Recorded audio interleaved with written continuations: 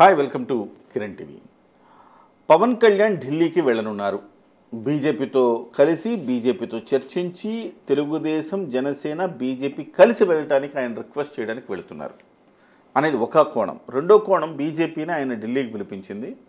BJP ఇటీవల కాలంలో BJP రామమందిరం ప్రారంభం తర్వాత బీజేపీకి దేశంలో విపరీతమైన ఖ్యాతి పెరిగిపోయింది.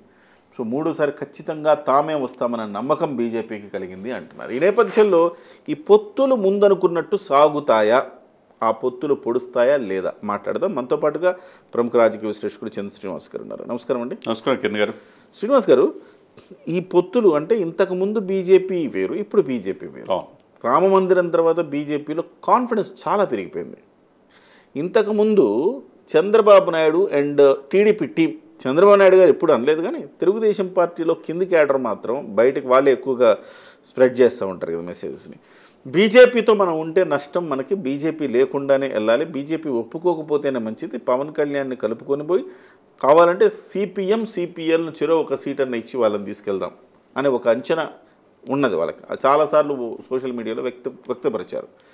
కానీ బీజేపీ మాత్రం మొదటి నుంచి కూడా మీనమేషాలు లెక్కిస్తుంది. తెలుగుదేశంతో కలవాలంటే సంశయిస్తోంది. ఇప్పుడు బీజేపీకి ఒక రేంజ్ ఖ్యాతి రావడంతో పవన్ మళ్ళీ బీజేపీతో కలిసే వెళ్ళాలని తెలుగుదేశం భావిస్తున్నట్టుగా కనపడుతుంది. కానీ బీజేపీ మాత్రం వస్తుందా లేదని డౌట్. మీకేమనిపిస్తోంది? ఢిల్లీ పర్యటన ఫ్రూట్ఫుల్ అయిద్దా? ఫెయిల్ అవుద్దా డెఫినెట్గా ఫ్రూట్ఫుల్ అవుతుందండి ఎందుకంటే పవన్ కళ్యాణ్ గారికి ఒక మాట ఇచ్చారంటే ఆయన మాట ప్రకారం వెళ్తారు. ఆయనకి విలువ ఉంది బీజేపీ పెద్దల దగ్గర. నిన్న నిన్నగాక మొన్న మీరు అన్నట్టు బీజేపీ ఆఫ్టర్ రామ మందిరం కంప్లీట్ గ్రాఫ్ పెరిగిపోయింది దేశవ్యాప్తంగా. నిన్న జరిగిన నితీష్ కుమార్ బీహార్లో చూడండి వరుసగా తొమ్మిదిసారి ముఖ్యమంత్రి. ఆ పార్టీ నుంచి పార్టీ కాంగ్రెస్ మిగతా మొత్తం ఆర్జేడీని వదిలేసి వచ్చాడు. వదిలేసి వచ్చాడు రాజకీయాలు ఒక రోజులో మార్చేశారు. అంటే బీజేపీ చేతిలో రాష్ట్రాలు మొత్తం వచ్చేస్తున్నాయి. ఆల్మోస్ట్ ఒక దక్షిణ భారతదేశంలో అటు వెస్ట్ బెంగాల్ ఒకటి ఇటు కేరళ. తెలివైనడు నితీష్ కుమార్. గమనించాడు. మనం బీజేపీకి ఎవరితో వెళ్తే బాగుంటుంది అనేది మనం కూడా అనుకున్నాం ఆ, అర్థమైపోయింది. ఇక్కడ ఏంటంటే ఆంధ్రప్రదేశ్ తెలంగాణ తమిళనాడు కేరళ అటు వెస్ట్ బెంగాల్ రాష్ట్రాల్లో తప్పితే ఆల్మోస్ట్ బీజేపీ అయిపోతుంది. ఇక్కడ ఎన్ని యాత్రలు చేసినా బీజేపీ చేతిలో ఉంటుంది. ఇక్కడ ఏంటంటే ఇక్కడ ఒకటే కిరణ్ గారు. జాతీయ భావజాలంతో దీర్ఘకాలిక ప్రయోజనాల దృష్ట్యా బీజేపీ వాళ్ళ తను తన ఆట ఆడుతుంది బీజేపీ. ఎవరితో ముందుకెళ్ళాలి? ఎవరు ధిక్కరించిన వ్యక్తి. మన చెప్పినట్టు మన మార్గంలో వెళ్తాడు.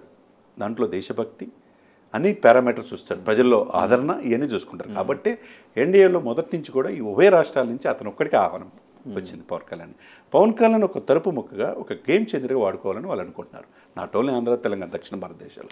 కాబట్టి ఆ రోజు ఆల్రెడీ మాట ఇచ్చారు. బీజేపీ కోరి బీజేపీలో ఎన్డీఏ ఆధ్వర్యంలోని ఇరవై ఆరు పార్టీలతో పాటు టీడీపీని కలిపే బాధ్యత కూడా తీసుకున్నాడు.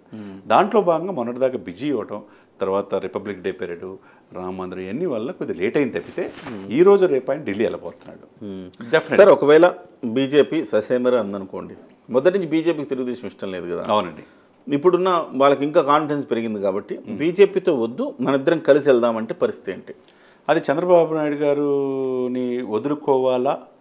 మోడీ కావాలా చంద్రబాబు నాయుడు కావాలా అనేది అప్పుడు పవన్ కళ్యాణ్ గారు పవన్ కళ్యాణ్కి అసలుకి మామూలు పరీక్ష కాదు. పరీక్షే అది పరీక్షే. అది ఇప్పుడు యాక్చువల్గా యాక్చువల్గా యాక్చువల్గా కిరణ్ గారు టీడీపీ చంద్రబాబు నాయుడిని చూసుకుంటే మోడీని చూసుకుంటే ఎవరి పవన్ కళ్యాణ్ గారు ఉండాలి. అసలు మోడీయే శ్రీరామ రక్ష యాక్చువల్గా. ఎందుకంటే మొదటి నుంచి నువ్వు వ్యక్తిగా ఎదుగు నువ్వు లీడర్గా ఎదుగు నువ్వు సీఎం అవ్వు నీ వెనక మేము ఉంటామనే భరోసా ఇస్తుంది ఆయన. బీజేపీ ఇస్తుంది. ఈ పాయింట్ ఆఫ్ ప్రాధాన్యత కూడా ఇస్తున్నారు. అదే సమయంలో ఆయనకి ఒక ఒక ఇది ఉంది అక్కడ. ఒక ప్లేస్ ఉంది ఢిల్లీలో మిగతా వాళ్ళకంటే డిఫరెంట్గా ఇప్పుడు నేను డెఫినెట్గా ఈ మూడు పార్టీలు కలిసి వెళ్తాయి కాబట్టి వాడు కొన్ని పెడతారు వాళ్ళు. నీ గౌరవప్రదమైన సీట్ల విషయంలో ఈయన గౌరవంగా ఉండాలని అదేవిధంగా పవర్ షేరింగ్లో సీఎం కూడా కొంతకాలం పవన్ కళ్యాణ్ ఉండాలని బీజేపీ కోరుకుంటుంది. అది తప్పకుండా బీజేపీ ఇచ్చే ప్రపోజల్ని చంద్రబాబు నాయుడు గారు కూడా యాక్సెప్ట్ చేయాలి? అందుకనే టీడీపీలో కొంతమంది సీనియర్స్ ఏమనుకున్న బీజేపీ మన మాట వినాలి. కాబట్టి చంద్రబాబు నాయుడుతో జనసేనతో కలిసి బీజేపీ లేకుండా ఉంటే మనం ఆడిందే ఆట. మనం ఐదు సంవత్సరాలు సీఎం అవ్వచ్చు మనం ఎన్ని సీట్లు ఇచ్చినా తీసుకోవచ్చు అనే ప్లాన్లో పవన్ ఏం చేస్తారు చెప్పండి మీ అంచనా? పవన్ చాలా యువాత్మకంగా ఉంటాడు సార్. వ్యూహం ఏం వ్యూహం? తన వ్యూహంలో చాలా విషమ పరీక్ష అది. విషమ పరీక్ష. ఈ సమయంలో మోడీని కాదనడు. కాదనడు. ఈ దేశ భవిష్యత్తు ముఖ్యమైనది. తెలుగుదేశం పార్టీ అదే సమయంలో ఇక్కడ ఉన్న ఫార్టీ పర్సెంట్ ఓటు బ్యాంక్ కూడా ఆయనకు కావాలి. ఈ పార్టీ రెండు కలిసి. అక్కడ జగన్మోహన్ రెడ్డి ఎదుర్కోవాలంటే. అదే సమయంలో చంద్రబాబు నాయుడిని ఒప్పించి డెఫినెట్గా ఎన్డీఏలో చేరుస్తారు. అది జరుగుతుంది. అది అవసరం కూడా. అవసరమే తెలుగుదేశం జనసేన వెళ్తాయి. ఏది? బీజేపీని కాదని వెళ్ళడండి పవన్ కళ్యాణ్. ఉమ్. ఇప్పుడు బీజేపీని కాదని వెళ్ళడు. ఉమ్. బీజేపీతో పాటుగా. బీజేపీ రానంటే ఏంటి పరిస్థితి అనేది నేను అంటున్నా. బీజేపీ ఎందుకు రాదు అని అని మీరు అనుకుంటున్నారండి? బీజేపీ కాన్ఫిడెన్స్ పెరిగింది సార్. పవన్ కళ్యాణ్ ఒంటరిగా వెళ్ళాలి తెలుగుదేశం పార్టీని అనవసరంగా జవజీవాలు నింపడం ఎందుకు తెలుగుదేశం పార్టీలో?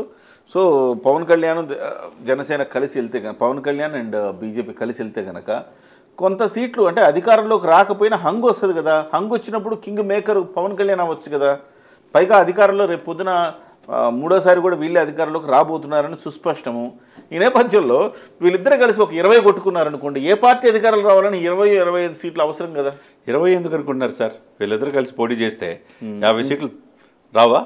యాభై ఇస్తాయంటారా డెఫినెట్గా వస్తాయి. ఉభయ గోదావరి జిల్లా ముప్పై నాలుగు కాన్స్టిట్యూన్సీలో మరి. మరి అటువంటిప్పుడు అలాంటి ప్లాన్ చేస్తే మళ్ళీ పవన్ కళ్యాణ్ మరి టీడీపీని వేడాల్సిన అది అది మనకంటే పవన్ కళ్యాణ్ యొక్క చేతిలో ఉంది ఇప్పుడు.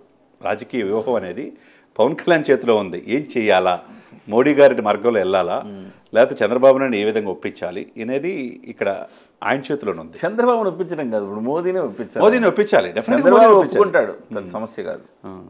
మోదీని ఒప్పించి ముందుకెళ్ళాలి. కాబట్టి డెఫినెట్గా మీ మూడు పార్టీలు కలిసి వెళ్తాయండి. అంటే మీరు ఒప్పుకోవట్లా? ఏ విధంగా ఒప్పుకోవాలంటే అండ్ బట్స్ కాకపో బీజేపీ నేను రాను అంటే ఏం చేస్తాడు అంటున్నా. BJP ఆయన ముందు ఆ ఆప్షన్స్ ఏంది? బీజేపీతో కలిసి వెళ్ళడం లేదా తెలుగుదేశంతో కలిసి వెళ్ళడం? ఇవే రెండే కదా ఆప్షన్స్. అవును. బీజేపీ కాదంటే నేను అనేది ఏంటంటే బీజేపీ ఇప్పుడున్న సిచ్యువేషన్స్లో అనదా అంటారు మీరు. అనదు. అంటే ఏంటంటే వాళ్ళకి ఎంపీలు కావాలి సార్. దక్షిణ భారతదేశంలో ఆంధ్ర తెలంగాణ వాళ్ళ. అధికారంలోకి ఉంటే తెలుగుదేశం వచ్చినా లేకపోతే ఇంకొకళ్ళు వచ్చిన వైసీపీ వాళ్ళే ఎవరు కదా. వచ్చినా వాళ్ళే.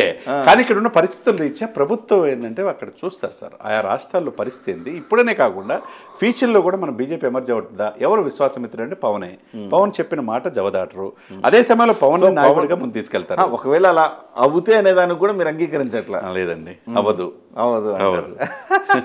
నేను ఏమనుకుంటున్నానంటే ఒకవేళ అలా అయితే పవన్ కళ్యాణ్ బీజేపీని ఒప్పించి జనసేన తెలుగుదేశం కలిసి వెళ్తాయి. ఈ ఎన్నికల వరకు నన్ను మీరు కన్సిడర్ చేయండి. జనసేన తెలుగుదేశం పార్టీ కలిసి వెళ్తాయి. మీరు బీజేపీగా మీరు ఒంటరిగా పోటీ చేస్తారో ఎలా పోటీ చేస్తారో చేయండి. వన్స్ ఒకసారి ఈసారి నేను ప్రయోగాలు చేయదలుచుకోలేదు వన్స్ ఒకసారి ఎన్నికలు అయిపోయిన తర్వాత మళ్ళీ నేను మీతోనే ఉంటానని చెప్పి ఒప్పించి అది ఆ ఛాన్స్ తీసుకోడు. ఒప్పిస్తాడు.